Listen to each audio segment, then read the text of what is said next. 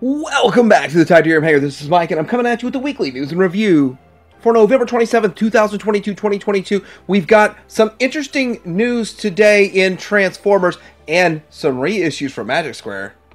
McFarlane's showing a slew of some teasers for some really cool stuff, and it sort of appeals to me, and I'll explain to you exactly why. Went on a road trip. I've got a lot of pictures for the Transformers stuff that's out there, the Masters Universe stuff that's out there, and it's going to be peppered in throughout the news. But yeah, there's stuff out there, and there's stuff still lingering. And lots of Star Wars news that's more or less what is showing up and what is on sale, and what's going to be a really, really good sale coming up. Talk about this some more coming up.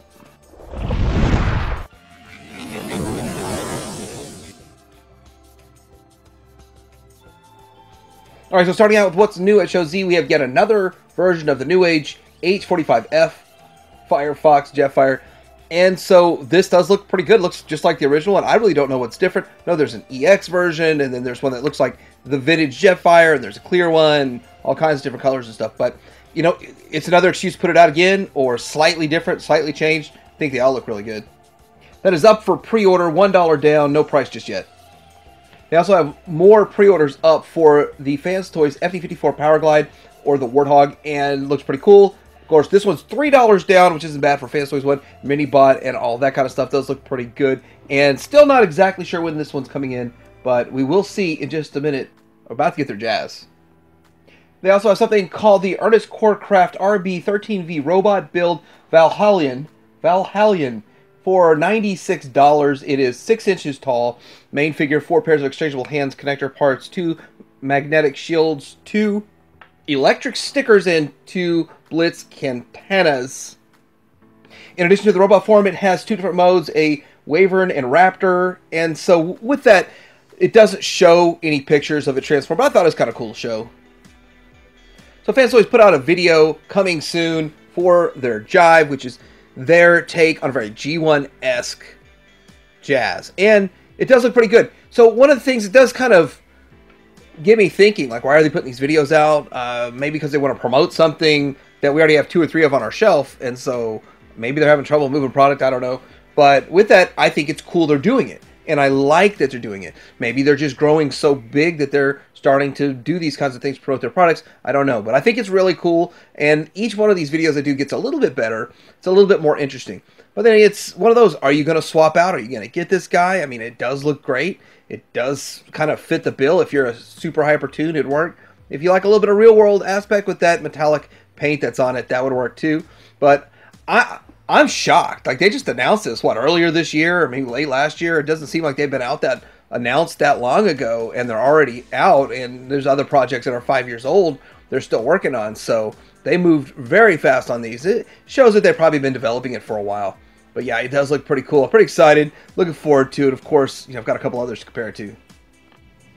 So we got a couple of pictures. It's really just the box and this, and I think this is the most important picture here, kind of showing the difference between the mainline release of the Tempo, the uh, R, whatever, the, the number 11 high fidelity diecast tempo. This is their take on Steeljaw. And one of the things I just really think that the exclusive, the SDCC exclusive one, has more vibrant colors in this. It's kind of muted looking. Maybe it's just a picture, but I kind of felt like that from the promo pics also. But this sort of does say these are a little bit more drab colors, and the other ones were more vibrant in a way. So it'd be interesting to see people that have in hand side by side pictures of them, but I think the SDCC one's better.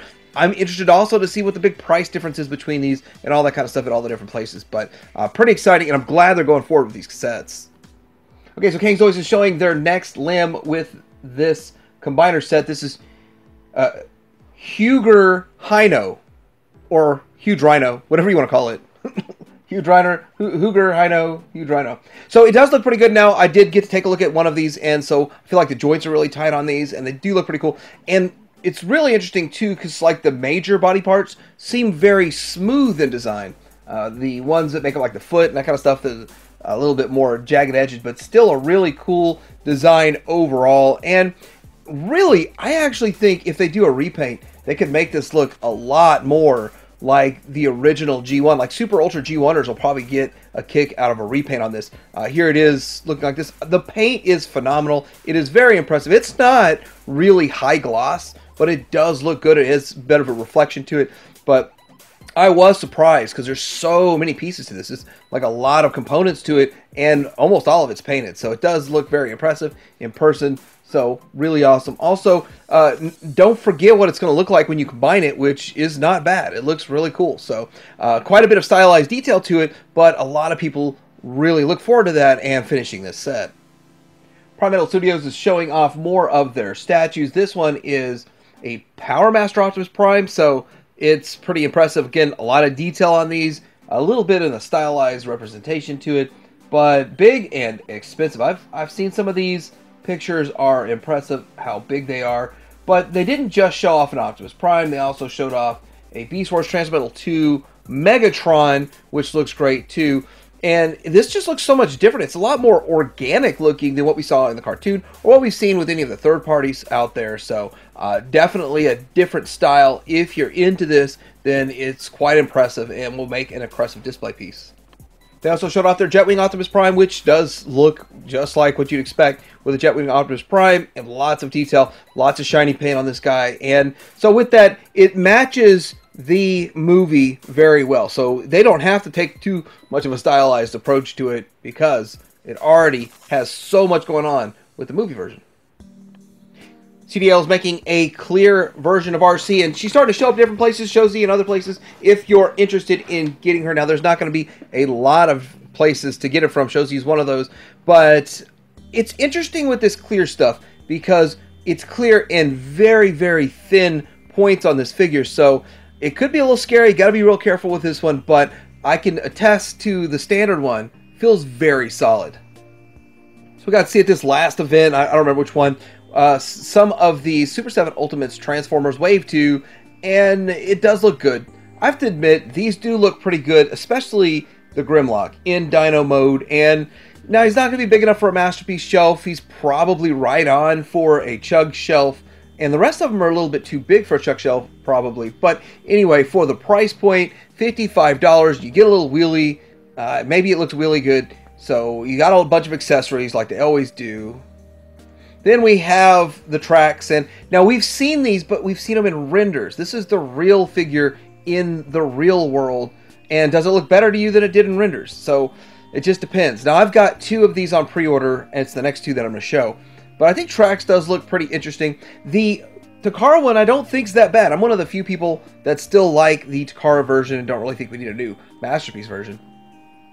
Here we go Bludgeon, and yeah, he does look like the Pretender, like a better version of the G1 Pretender. Now, the G1 Pretender is like a $300 figure complete, so good luck getting his hat, helmet, or whatever, and all that kind of stuff for the G1 one. But uh, getting one of these for 55 bucks you can stand it in in your G1 collection and save $300, I guess. But uh, there's not going to be anything inside with the Pretender kind of thing. So I think that's the whole way we're going, the direction we're going. We're going to get Pretenders made, but they're not going to operate the same way. And then uh, Megatron, you you got to get it. So I had to pre-order Megatron, I pre-ordered Bludgeon, and you got to have Megatron Optimus Prime if you're going to be collecting these at all. So I'm sure they're going to come up with three, four different ways to put Megatron Optimus Prime out uh, like they always do. And there's gonna be a clear one, and there's gonna be some other stuff going on, uh, transformation, all that kind of stuff. But anyhow, uh, you did get a Crimzy, and you get his mace and all that kind of stuff. All right, so getting into some Legends news. Magic Square is doing a bunch of reissues. They're reissuing their Soundwave.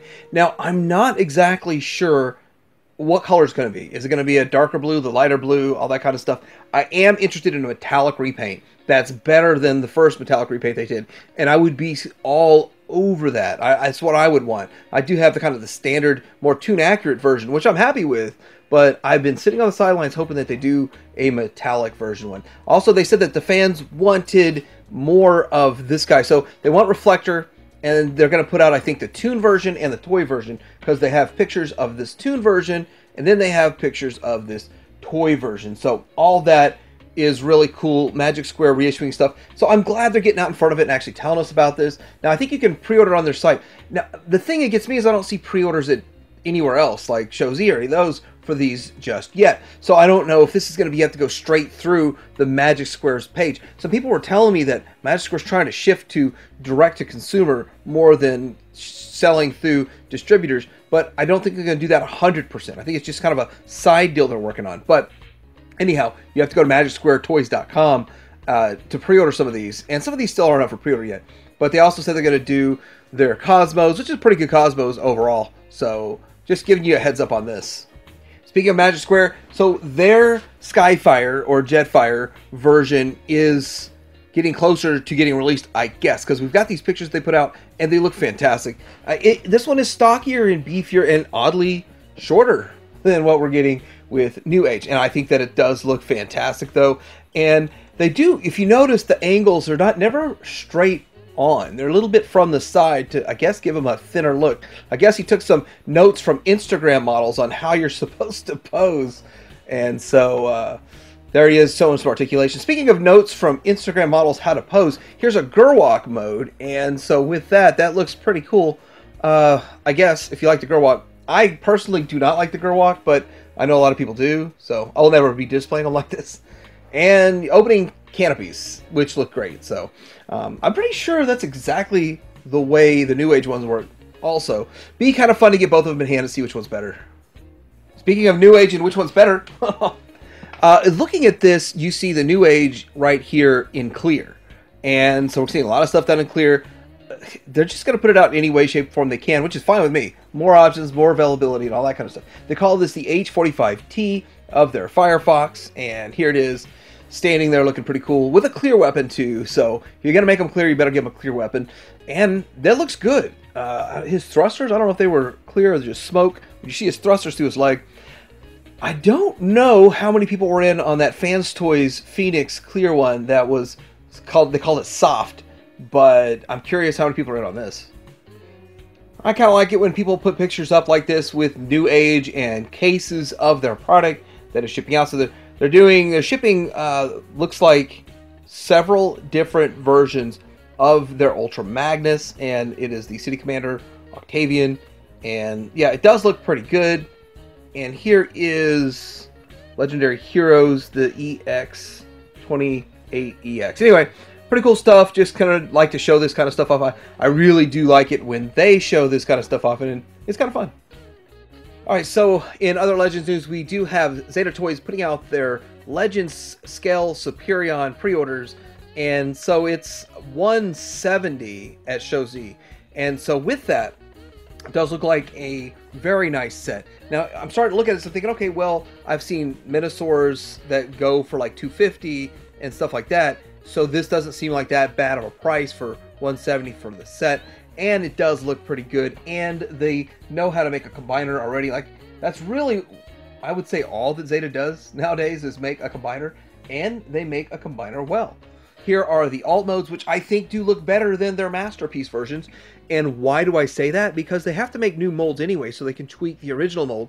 These, in some cases, are completely different. It will be interesting to see what's similar to the the masterpiece and what's different. But these do look better all around. Almost wishing they would take what they've learned here and make another masterpiece. But I don't want to spend that much money. But anyway, they look fantastic. 170, I think, is worth it. If you break it down per figure, that makes it $34 a figure. So not really all that bad. All right, so I want to start out the mainline stuff, talking about kind of what's showing up right here. And I haven't seen this yet myself, but they're saying in Canada, this is the Galaxy Shuttle in for the Velocitron 500 collection. So these should be showing up at your WalMarts pretty soon. Then there's some Earth Spark stuff if you're into that. This is probably what it's going to look like. You're going to walk in and see a whole display of Earth Spark. They're going to push it really hard because, of course, toys are for kids, sort of, right? Here's kind of what the U.S. shells are starting to look like. Just some stuff showing up random. Really not much to get excited about. The 86RC starting to show up. The Buzzworthy Bumblebee 4-pack, which I think that's the one that has... It's hard to see. I, see the corner of it, but that's what I think it has that Decepticon, that Deluxe Decepticon in it. And then of course we've got the pterosaur and that a lot of good stuff. A lot of good stuff, right? So I set on my little road trip of an adventure, and I found a sludge and oddly enough, at the exact same place I found this sludge, there was a good one. But somebody had opened a box up. They ripped it open so they could see what's going on inside, I guess. So I'm not surprised at all. I'm not shocked. I mean, what what do you expect? You can't even see the figure. So anyhow, uh, yeah, somebody just ripped that open, and you know that's not for me. I like to keep my stuff in the package, keep it looking good. Now I'm starting to be curious. Do should I open mine and make sure that the figure's in there? And if you're looking for these figures, check out your Ross, $10. I passed on a couple of these and definitely passed on the pipes, but for 10 bucks, I thought it's worth picking them up. So uh, this is what's kind of the current wave going on at Ross, discounters and that kind of stuff right now. And pretty good deal. I say $10 is exactly what these should be priced at. So more stuff in the main line. We get pictures of Studio Series Voyager, Battle Trap, and Deluxe Airazor. We've already sort of seen the Airazor pictures before, but it does look much different than what we just saw in that last picture. Here's a picture of, of the Battle Trap alt mode, and truthfully, I, I really even don't even know who Battle Trap is, so I'm I might have missed it somewhere along the way, but anyhow, there it is. Does look kind of cool, pretty interesting, nice little sort of tow truck kind of thing going on. Although we had pictures last week of Airazor and more similar to this, this picture is a little bit better. You can see the size difference between the two. Not just the style difference, the aesthetic difference, and the color difference, but the size difference. So the other one's significantly taller. So a little bit thinner too. So depends on your taste and preference, what you'd like. Hey, here they are for birds in their bird mode. So also with that, it seems to have a little bit longer wingspan, probably, maybe, sort of. Maybe overall just a little bit bigger, but I still I still really like the one they already made. Okay, so we are seeing the movie version of the retro series of Hot Rod, and I've heard a lot of people talk about this, comments and stuff like that. I actually think it does look pretty good. I'm just surprised they're remaking it. But I guess I shouldn't be because they already have the mold. They've already put it out, and they know we're just going to buy it, or some of us will buy it. So uh, putting it next to the Optimus Prime, that's probably the retro series Optimus Prime that they already had. So it looks good. It's a color variation that we've never seen before, and it does match the movie a lot better. And back in the 80s, you know, the toys really didn't match the media all that well, and so now we can have an 80s toy that matches the media just a little bit better. Although the color is different, it's more of a what is it, a mauve color than red, and so with that, that's really the main difference. Overall, I still think that the auto mode, the alt mode, isn't really that big of a difference. It's it's the big difference, the big changes really affect the bot mode. All right, so Tuesday they're supposed to be having some sort of a Hasbro Pulse fan stream talking about Death Deathsaurus, and there's supposed to be some big news for Deathsaurus backers. Now, I'm going to tell you, I didn't back this. I probably will kind of see what's going on with it and all that kind of stuff.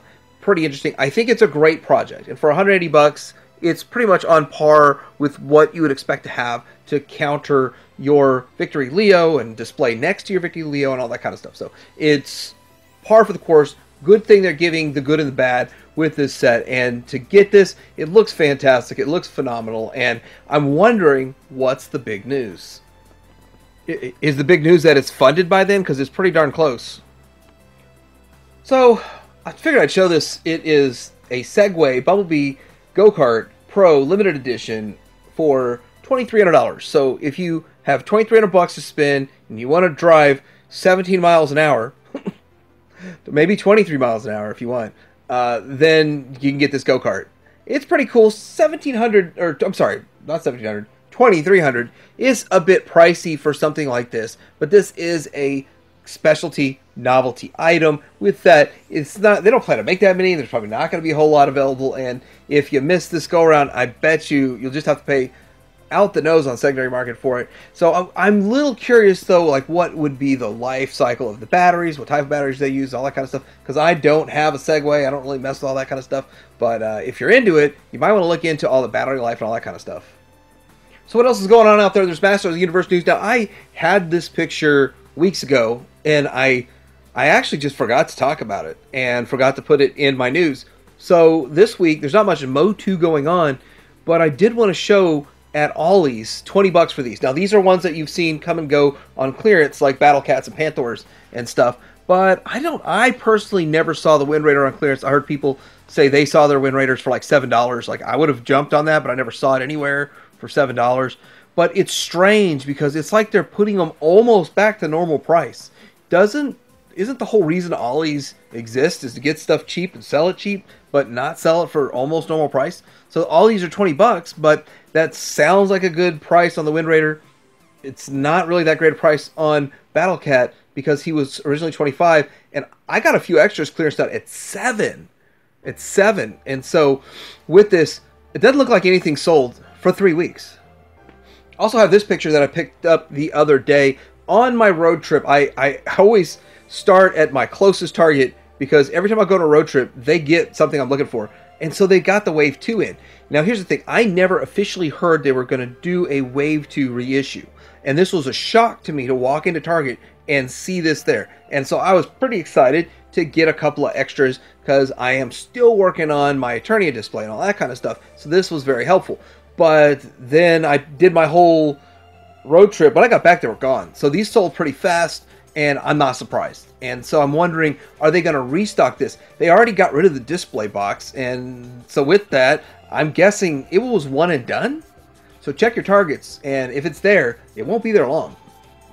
Super 7 has got a Conan they're putting out, and it's their Ultimates. It's Wave 4.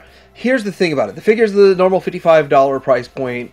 It's the old man Conan at the very end of the movie where he. Heavy is the head that wears a crown kind of scene that's going on. And you have to buy his throne separately. It's nice that they make them, they give you options, and you could probably just put them on a block of wood if you choose to, but you could pay 45 bucks for the separate throne if you want to go that route. Uh, it's better than them just forcing you to buy it as a hundred dollar set, but it is, of course, just like like a six buck piece of plastic with some paint on it that they're going to charge you forty five dollars for overall. But it looks very good. They really did capture Arnold in there, older version of Arnold in there, and I think they did a great job with it. We've got Nightfall Catwoman for this is the good old Todd McFarlane line. This looks like it's going to be pretty good with this one here, this Catwoman Nightfall. But there's also something else that he's making that seems pretty cool. He's teasing this. These are all teaser pictures. A Mr. Freeze. Now, I think it looks pretty good from here, and it's going to be not a hundred percent reminiscent of like a Kenner style one. But for me personally, I think it'll be great because I do kind of want a Kenner style. I do kind of want it to match the Kenner, and there's different I don't know, recipes out there to put yourself together a Kenner style display with modern stuff, and so I think this might fit that. So this is something that Super 7 is also making Notorious B.I.G. Ultimates action figure, which is a very big surprise that just out of the blue, here he is.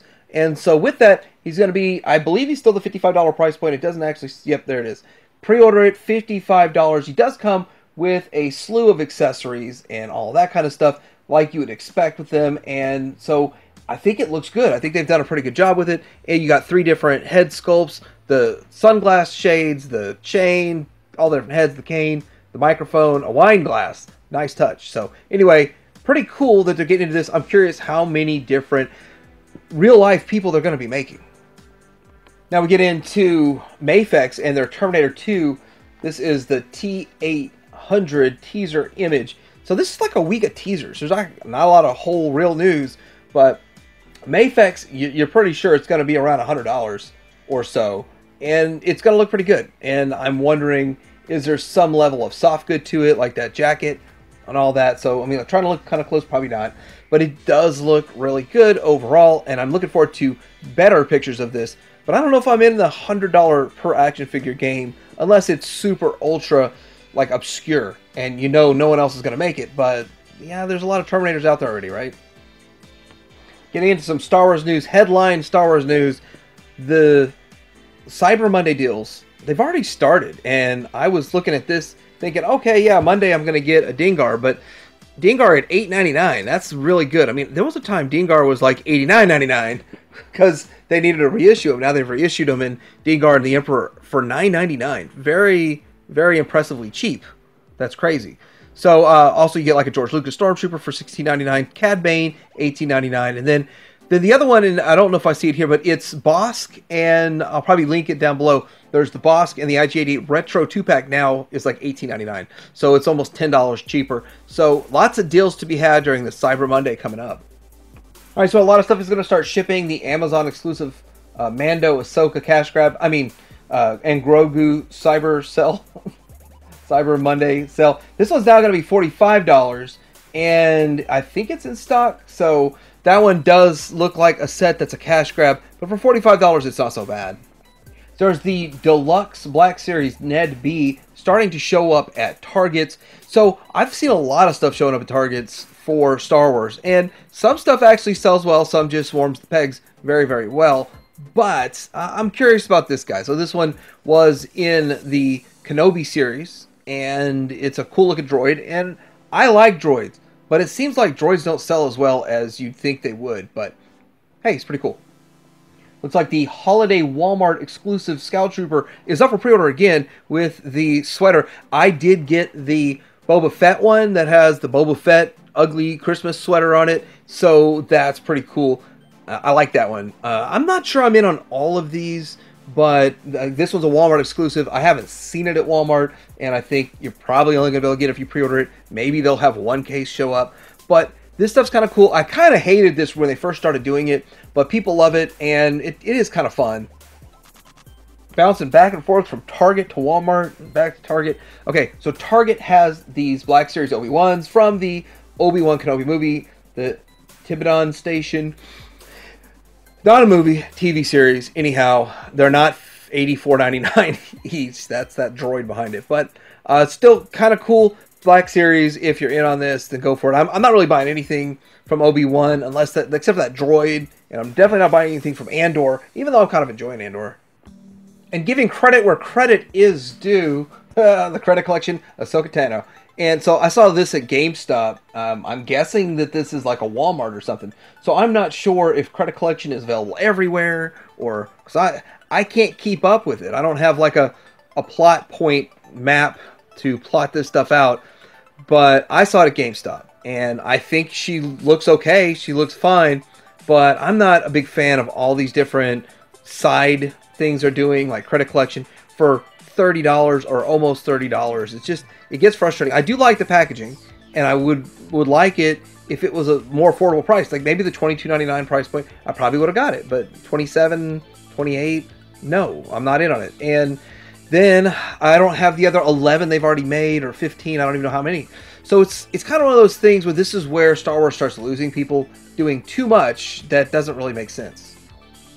Holiday weeks are historically light weeks for news, but there's still always a lot going on, stuff showing up, more reveals, and more reissues. Let me know what you think about this week's weekly news and review. What else is going on out there that I missed and didn't talk about? That's really cool because I like to stay in the know. Like and subscribe, and Tydirium Hanger out.